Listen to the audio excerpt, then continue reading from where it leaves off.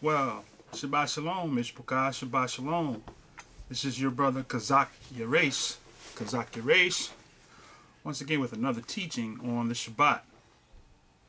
We want to deal for a very few minutes, not going to deal very long on this subject. We're going to get straight to the point.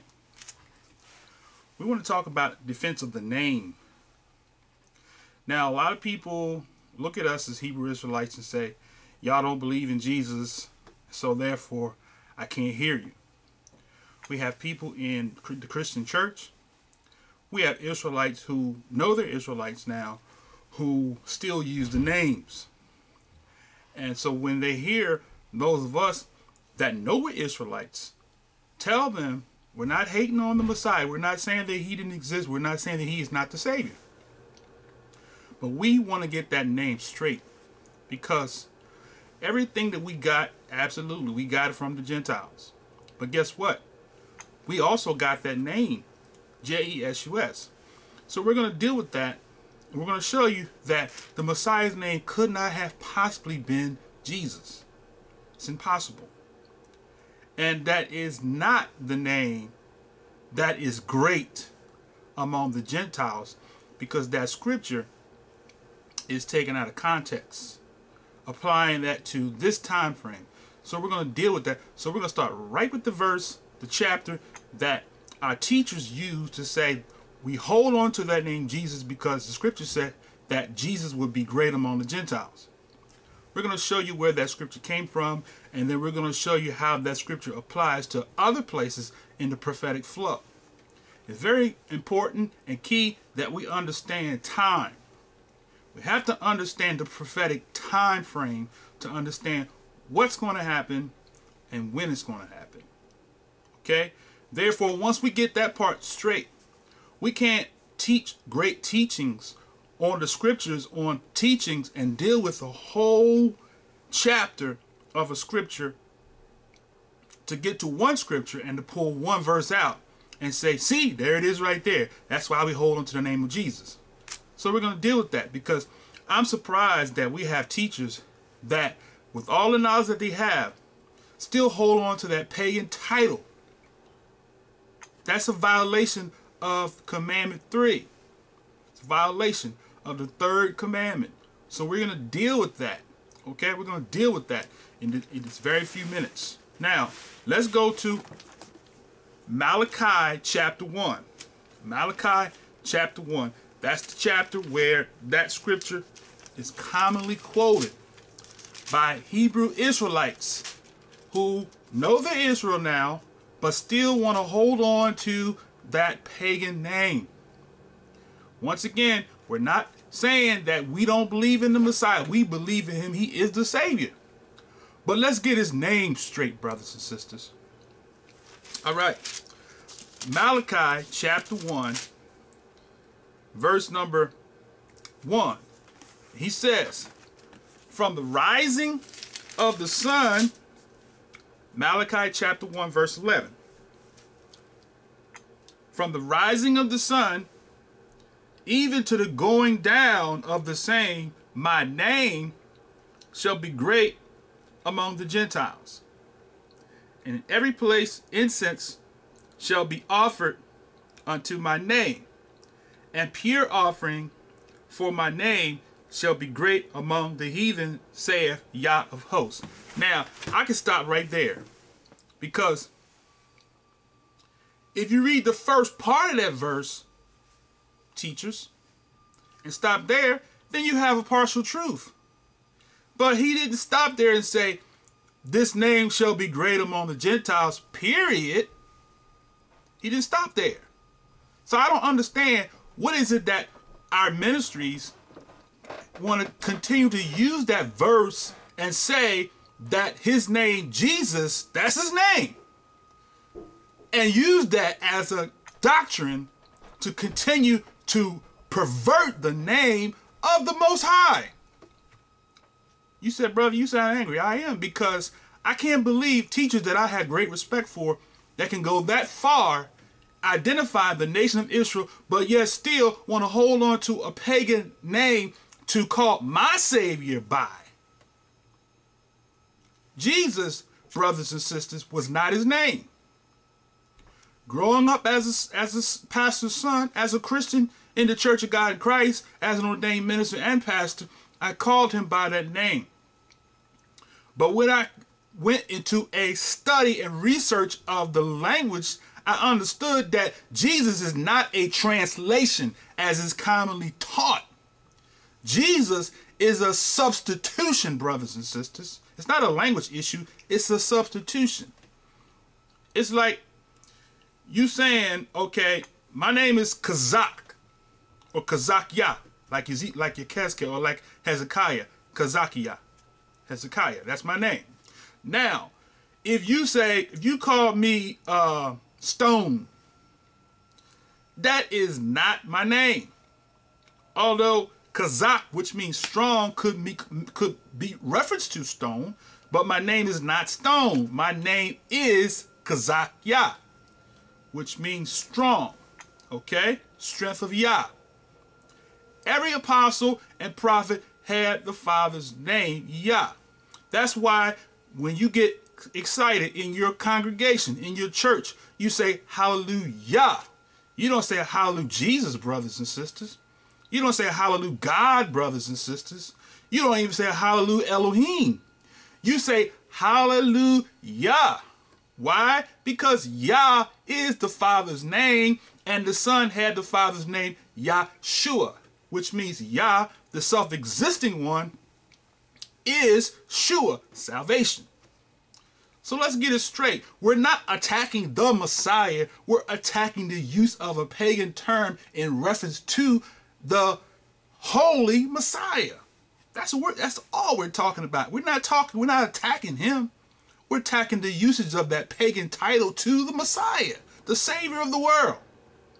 Hallelujah. Now, let's get back to that verse so I can close it out. Read the whole verse, teacher. Read the whole verse. Don't stop at the top of that. Read the whole. Look at what he says here. He says, verse 11, as you always quote, respect to you, sir. I watch you, and I have learned a lot from watching you. But let's go all the way with this name thing, because this is part of, this is part of the covenant. Third commandment: Thou shalt not remove the name. And to substitute the name of the Most High and give him a Hellenistic pagan Gentile name is a violation of the third commandment. We're teaching our people to continue to violate the commandments by replacing, removing, substituting the name of the Most High and His Son with the pagan deity's name. That's what this is about. It's not about language. It's about removing and substituting. So in other words, this person's name that was substituted, that they put the Messiah's name, uh, taken took it away rather, and put this name in there, is actually a person, another person. That's what we have to understand. It's not a language issue. It's not language. It's a substitution of replacing the creator with a one who wants to be the creator, who actually is Halel or Lucifer. That's why we have to study the language because we understand when you study the language, you understand why the name was substituted. Now, let me get back. So he says here, from the rising of the sun even to the going down of the same. My name shall be great among the Gentiles. Dot, dot, dot. Don't stop there because that's not where the sentence stops. He says, My name shall be great among the Gentiles and in every place. Incense shall be offered. Now, where are the incense being offered, brothers and sisters? If this name, J-E-S-U-S, is great among the Gentiles, and this is what this is applying to, where are the incense being offered? In every place, as he said. He said, in every place incense shall be offered unto my name. See, where are the incense being offered to his name. Look what he says. For my name shall be great even among the heathens.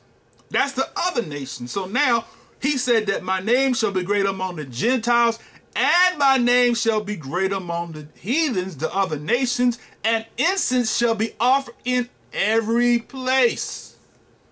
It sounds like to me that's talking about futuristically, not in our present time frame, in the present time, but in the prophetic time, the future time of when the millennium kingdom is going to be here. That's what that's talking about, brothers and sisters. Not today's time. So we can't use that to apply that and say we're going to hold on to that name because it said that my name shall be great among the Gentiles. All right, now, so he says, My name shall be great among the Gentiles and in every place incense shall be offered unto my name. See that? That hasn't happened. And pure offerings for my name shall be great among the heathen, saith Yah of hosts, or El Shaddai, Yah of hosts. Now, let's go to another place in Scripture where that same phrase is used under another teacher, Dawid, the king of Israel, in the book of Tehillim. And it's good that you learn the names of the books. Psalms is an English word, but the actual word is Tehillim. Tehillim. Okay, it's a Hebrew word. Now, let's look at Tehillim or Psalms 113, verse 1 through 3. Psalms chapter 113, verse 1 through 3. We're going to break it down. Because we're in the Ruach Kadesh, the spirit age, where the spirit now is, has already begun to awaken the nation of Israel, the true nation of Israel. And now he's bringing these truths back to the nation. We've got to get it all right. The identity part, we got that part together. The law part, we're getting that together now. Now let's get the names right. Because why? They all come hand in hand, brothers and sisters. Now, Tehillim 113. This is what our big brother Dawid had to say. Tehillim 113. And he says in Tehillim 113, says, Praise ye Yah. In other words, that phrase is the Hebrew phrase hallelujah. So we were to read that in the Hebrew tongue, it would say hallelujah or hallelujah. Then he says, hallelujah or praise ye servants of Yah. Praise the name of Yah. As in hallelujah. We all do it in church. In, in our synagogues and in our mosques, we get happy and we say hallelujah. It's universal, brothers and sisters. That's the Father's name, Yah. Gave his son his name, Yahshua. Not Jesus, which we'll deal with that in a minute. Now, so he says, Blessed be the name of Yah from, from this time forth and forevermore. From the rising of the sun until the going down of the same, Yah, Yah's name is to be praised. See that? That's why we get happy. We say, Hallelujah! Hallelujah! We're praising the name of Yah, brothers and sisters. From the rising of the sun to the going down of the same. We have to get that revelation. We've gone th that far to get the revelation that the true Israelites are the people that were sold into slavery through the middle passage, but now we've got to go a step further and get the revelation of his name. Hallelujah. Get the revelation of the name. Because the Ruach Kadesh, the Spirit, will give you that revelation. It's not about being right or wrong. It's about understanding. Because one waters, one plants, but Yah ultimately gives the increase. He has used different people. He has set in his mikras, in his congregation, some apostles, prophets, pastors, and teachers, and evangelists, for the working of the ministry, for the perfecting of the saints, until we all come into the perfection, brothers and sisters. So that's why the Most High has given you that great revelation that we are the people of the book. But now let's go another level with it because now that you have planted a seed throughout the United States and the world for that matter, our teachers have planted that seed who the true Israelites are and why it is that we're in the conditions we're in. Now let's take it another step further and let's get the name thing right. Let's get the name right. Hallelujah. That's what it's about, the name. That's a great name. Nothing wrong with calling the name Yah. That's a great name. That is the great name. He is the great I am. That's what Yah means. I am. He told Moshe on the mountain. He said, Who shall I say sent me? What is his name? He said, Tell him I am that I am. In the Hebrew, he said, Haya Asher Haya. Yah, which means self-exist. There's nobody else that can call me anything else other than I am. See? Now, let me get back. So, so, so in Psalms, he said that that once again, he said, from the rising of the sun unto the going down of the same, Yah's name is to be praised. See? His name is to be praised. Not this other name, Jesus, Yah or Yeshua, because Yeshua has the name of the Father, Yahshua, as in Obadiah, as in Zechariah, as in Malachi, as in Zephaniah, and so forth and so on. Even the city that we call Jerusalem is not called Jerusalem, brothers and sisters. It's called Yahrushalayim in the Hebrew tongue. Translators have substituted and put a J there and called it Jerusalem, took the A out and the H. But actually is Yarushalayim, which means Yah's place of peace. We're talking about millennial. In the thousand years when the Messiah brings his kingdom to the earth, it's going to be called Yarushalayim, Yah's place of peace. For a thousand years. Hallelujah. Now, let's go to Psalm Isaiah Yeshaya Yeshaya Isaiah, which Isa is a pagan deity, but so the prophet's name was Yesha Yah or Yashaya or same as Yahoshua. Actually, it's another variation of Yah Yahoshua. Uh, Isaiah is actually another variation of Yahoshua. It's Yaha Isha. That's a whole another story for another teaching. But anyway, Yeshaya chapter 59 he says in Yeshaya chapter 59, hallelujah, chapter 59, verse 19, he says, So shall they fear the name of Yah from the west, and his glory from the rising of the sun, when the enemy shall come in like flood, the spirit of Ruach of Yah shall lift up a standard against him. See that? So he said that they shall fear the name of Yah from the west and his glory from the rising of the sun. See that? That's talking futuristically. Now, if we tie that together with the verse in the next chapter of Yeshaya, which means Yah is salvation, he foretold the prophet that his salvation was coming to the ends of the earth. That's what Isaiah means. Yesha, Yasha, Yah. Yah is Shah, salvation, like Yahshua. Yasha, Shu, Yasha, Shu, Yah. uh, we got to study this language, brothers and sisters, and we can understand what it's saying. His name was not Isaiah. His name was Yasha. Yah. Yasha. Yah. Yasha, salvation. Yah of Yah. Yasha. Yah. That's his name. Yasha Yah. Salvation of Yah. Hallelujah.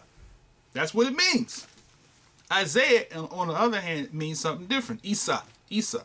In the in the Islamic books, they call they substituted the name of the Messiah and call him Isa, which is another pagan deity. But his name is Yasha, or Yasha, or Yeshua, or Yeshe, which is uh, the name of Dawi's father, Jesse. In English, it's called Jesse, but in the Hebrew tongue, it is Yeshe, which is a variation form of Yasha, or salvation. Now, I said a mouthful right there, but let me get back to the scripture. Now, if we look at Yasha, Yah, chapter 60, Look at verse 1. He breaks it down because we're talking about the end time. He says, verse uh, chapter 60 of Yasha, Yah, verse 1. Rise, shine, for the light is come, and the glory of Yahweh, or Yah, because Yahweh is two, you got Yah and Wah. Just like we said, we said this too, Yahweh. Yeshua, the word and Yah, the Father. You got both in one.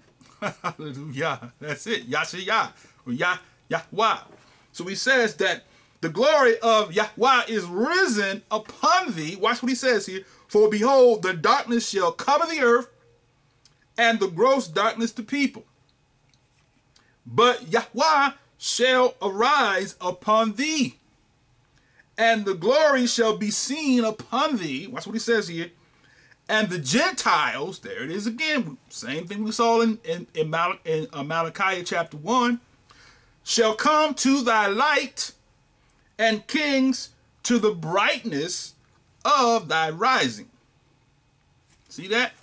So he said, that's when that's going to, that prophecy that was spoken out of the mouth of Micaiah, that's his name, Micaiah, or Malachiah, Malik, which means messenger of Yah, Malachiah, messenger of Yah. The messenger of Yah said Malachiah. Every time you say you call in the Most High's name. You can't even read the books without calling his name. Yah. Think about it. Think about it.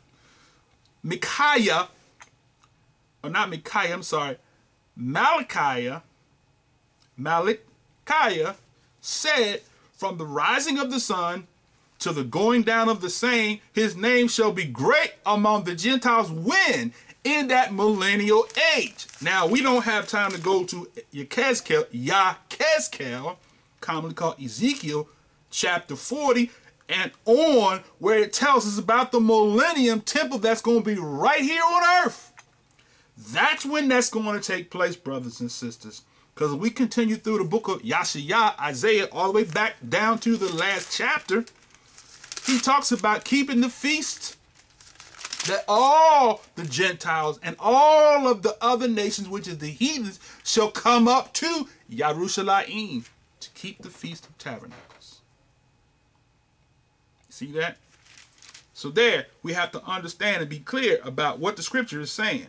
Now, I want to give you this last language issue so we can understand and deal with why the name Yeshua was substituted with that name Jesus, which actually is a translation of Hey Zeus. All right? Now, so the son's name never was Jesus or Jesus in the land of Israel because it was impossible for him to be called that because English was not the language. And the Father knows all, but he gave him a specific name to not be changed. He doesn't change, the scripture says. He says, Behold, I change not. Why would he give the Messiah a name that means something and then later on in the last days change his name? He gave him a name that was above every name. So the translators don't have any rights to change that name, brothers and sisters. You don't translate a person's name or substitute, in this particular case, substitution.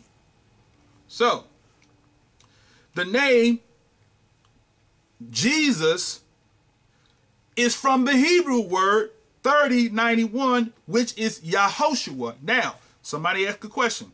Well, Jesus' name, was Jesus' name in the Old Testament? No, Jesus wasn't in the Old Testament, but Yahoshua or Yahshua or Yasha or Yeshe, all those variations of the name of Yahshua was in Old Testament.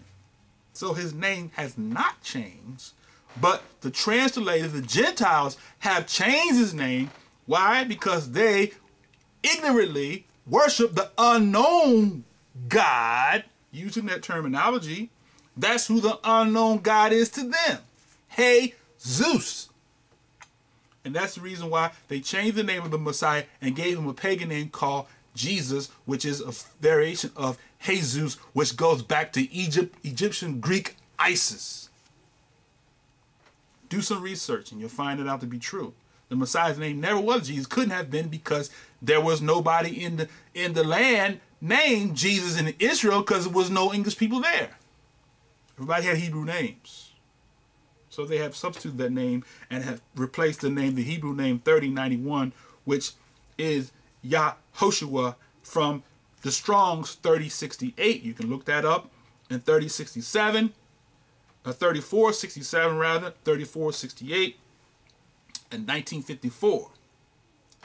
And finally, 3442, which is Yahshua, meaning Yah will save. Now, let's flip over to Philippians chapter 2 and verse 9. Philippians chapter 2, verse 9. He reads in Philippians chapter 2, verse 9. He says, Wherefore Elohim, that's Elohim the Father, also hath highly exalted him and given him a name which is above every name. The name above every name is Yah, brothers and sisters. When the Most High told Moses in, Ezekiel, in Exodus, Shemoth, or Exodus chapter 3. Go there right quick. Exodus chapter 3. The Most High told told Israel, told uh, I should say, told Moshe the prophet. He gave him the record of his name. Hallelujah. Verse 14. Shemoth, Exodus chapter 3, verse 14. And Elohim said unto Moshe, I am that I am. He said, Thus shalt thou say unto the children of Ya'isharal, or Israel, but Ya'isharal is a whole other subject for another day, but we'll just use Israel for now. We don't want to confuse any further. He says, You shall say to the children of Israel, I am have sent thee. And Elohim said moreover unto Moshe, Thus shalt thou say unto the children of Israel, Thou shalt say unto the children of Israel, Yahweh. Elohim is what he said. He said Yahweh, meaning he, he included the Son, or the Word, and the Father, of your fathers, the Elohim of Abraham, the Elohim of, of Yiskak, or uh, Isaac, Isaac in English, but Yiskak, and the Elohim of Yaakov have sent me unto you. This is my name forever. See that? And this is my memorial unto all generations. So he's saying, This is my name, my memorial forever. My name shall not be changed. This is my name. King James can't change it. The, the Germans can't change it. The Latins can't change it. Nobody can substitute, or even if you want to consider the translation, which is not, it's a substitution. Okay, I, okay, grammatically or technically you are correct. It is a translation. Translation does not necessarily mean exchange for exchange. Translation could be a substitution. That's what it is, a substitution. It's a translation. See? But it's a translation to substitute with a pagan deity. Jesus was a pagan deity. Hey, which is Hebrew, Halel, which is the name of Lucifer, who was the son of the morning. If we go to Isaiah chapter 14, I don't have time to go there, but Isaiah chapter 14 lets us know that Halel was his name. When he calls him, he says son of the morning. Let's turn it right quick. Yesha, Yasha, Yah, chapter 14. Yasha, Yah, chapter 14. And look at what he says in Yasha, Yah, chapter 14. Verse 12. Yasha, Isaiah, Yasha, chapter 14, verse 12. How art thou fallen from heaven, O Lucifer, son of the morning? Now, that name Lucifer is a substitution, brothers and sisters. His name was not Lucifer. His name was Halel. The translators substituted his name and put that name Lucifer there. His name was Halel, which means to shine for the high Elohim or the high high one. El means high one. We know the pagans use El as their deity, but we're not talking about the, the pagan deity El. El means high, high one. So Lucifer's real name is Halel. Now, in the translation, if you put it both together, you got Hey in Latin, Zeus. Because J-E-S-U-S, brothers and sisters, is pronounced every other nation in Latin America. When you put those letters together, J-E-S-U-S, they don't call him Jesus. They call him Hey Zeus. Only in Christendom do we call J-E-S-U-S Jesus. So that's just a play on words. That's just a smoke screen so that you won't see that you're actually saying Hey Zeus. When you say, hey, Zeus, come rescue me, that's what you're saying. When you call him Jesus, you're calling him by the pagan name. Substitution is not the same. So you have violated commandment number three, which says, Thou shalt not take the name or remove that name and substitute it with the pagan name. So we got to throw that out. We got to call the Messiah by his rightful Hebrew name, which is Yahshua, Yahoshua, Yasha, whatever. As long as you got salvation in that of Yah, Yashaya, uh, Yeshua, Yahoshua, that's all all correct. Because you're saying that he is the salvation of the Most High Yah. That's what you're saying. Now, so he told Moshe that is his name. Now, go with me to Psalms, Tehillim chapter 68. Last verse I'm going to give you.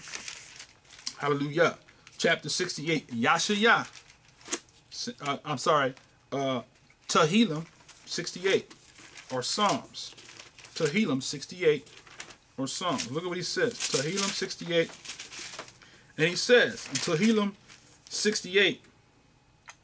Verse 4. Tehillim Psalms chapter 68 verse 4.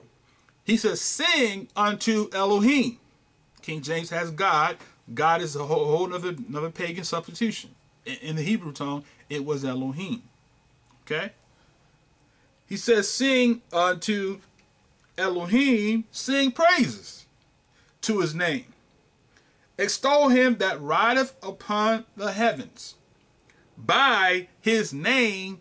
And right there in the King James Version, since this is what you use to read from, the King James Version, right there in the King James Version, it says, by his name, Jah.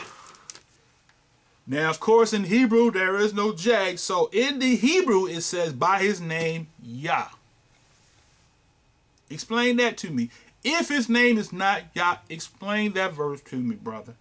Explain it. Please explain that to me. Call me. My number is 312 927 4373. My name is Chazaq Ya. Chazaq Ya. 312 927 4373. Please call me and explain to me why you place that and call the Creator even Jehovah. Hova means ruin. If we look at the the actual origin of that word, Hova just simply means ruin. All right? Hova means ruin or waste. So why would we call the Father by a name which means to ruin? Why would you say Jehovah? That's what the substitutors did. They call him that name Hova. His name is not Jehovah. His name is Yahweh. Or just simply Yah as in Hallelujah or as in Obadiah, Zechariah, Zechariah, Malachiah, Zephaniah, Yerushalayim. Okay, that's his name. So he says, call upon his name, extol him by his name, Yah. Now, hallelujah.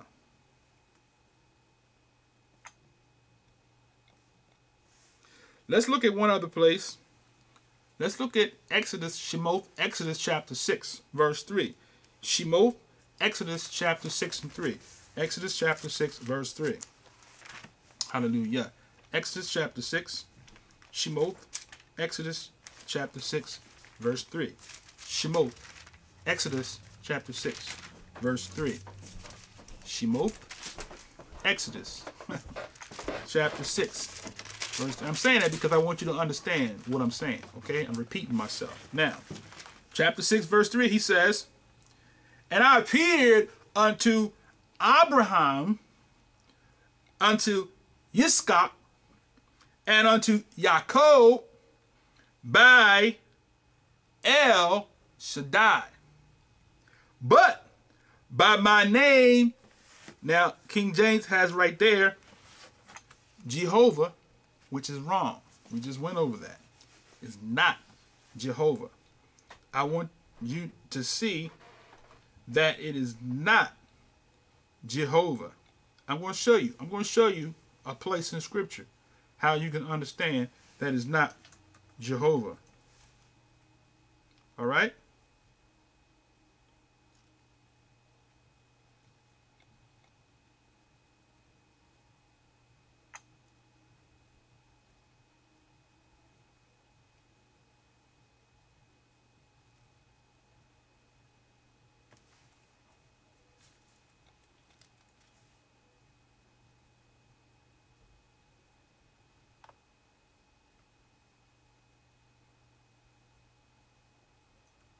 Just bear me one second.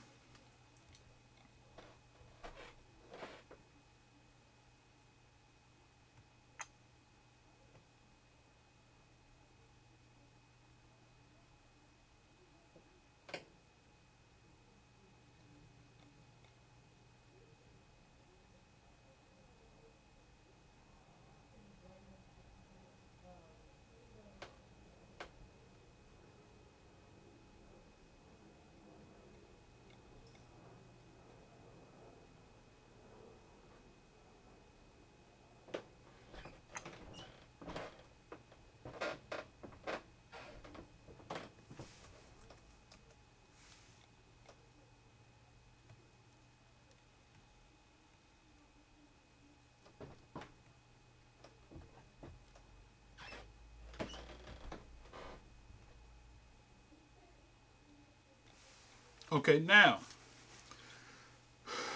that word hova. Let's look at um, Shemoth six and three again. It says here, but by my name. Now King James has Jehovah in there. Now, underline that because I want you to underline that because since you are reading that's that's where your mindset is. You're not looking at the, the, the language, so you're looking at what you're seeing in the King James English. And that's what the problem is with most of us, our teachers. We're looking at the English and not looking at what it should be versus what it is in the physical eye. The flesh, we are being led by the senses and not by the spirit. Uh, Shaul said, as many as are led by the spirit are the sons of Elohim, are the sons of the Most High Yah. So, not by what we see, but because we, we have to study to get this clarity and the understanding of this thing. So he says here, but by my name, King James has Jehovah. Now, the number 3068 is there. 3068. So if we look at the number 3068 um, in the Strong's numbers, the Hebrew, Hebrew 3068, it is the, it is the, it is the Hebrew word Yod He Va He pronounced Ha Yahweh. Yahweh. Because in Hebrew, in the ancient Hebrew that the Messiah and the Hebrew that the Father spoke in didn't have any vowel points. The vowel points was added by the Edomites, the Jewish people who took the text and they they took and mixed their language with it and called and created a dialect which is called Yiddish Hebrew and they put vowel points in there. And they made they are the ones that made it Jehovah. But actually, it's Yahweh or Yahweh, Yahweh, Yahweh, as in Hallelujah. Okay. Now, so there, the the word thirty sixty eight, which is Yod He Vahe, or Yahweh, not J. There's no J there anywhere in, in sight. Okay. It is also from from Hebrew 1961. So if we go to Hebrew 1961, uh, Hebrew 1961 is uh hold on one second brothers and sisters. 1961 is Haya. Haya. We just to told you that. 1961 that's what Moshe was told by the Creator Himself that my name is I am that I am. Haya, Asher, Haya. That's what he said in the Hebrew tongue. Yah. Now, so if we look at this language, this chapter 3, chapter 6, and verse 3 of Shemoth Exodus, it should read, But by my name, Yahweh, was I was he asked the question. Now he wasn't putting the statement. He said, "Was I not known unto them?" Now we have a lesson that we teach brothers and sisters that we show you that everybody knew his name. It wasn't new. This was not the first time he told Moshe or anybody in Israel his name. They knew his name, brothers and sisters. So we need to get back to calling him by his name. Not by these substituted names, but call him by his rightful name. Now, so we said that the word Hova means mischief. Okay?